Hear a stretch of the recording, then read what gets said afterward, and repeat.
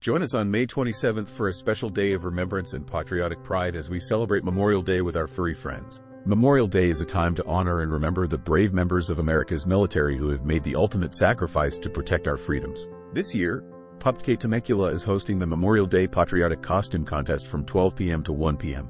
Dress your pups in their most creative and patriotic costumes to show your support for our heroes. Everyone is welcome to join the fun. Admission for non-PUPUS members is just $10, with proceeds supporting a nonprofit that provides service dogs for veterans. Let's come together to honor our fallen heroes and celebrate the bond between humans and their loyal canine companions. See you at the Memorial Day Pawtriotic Costume Contest.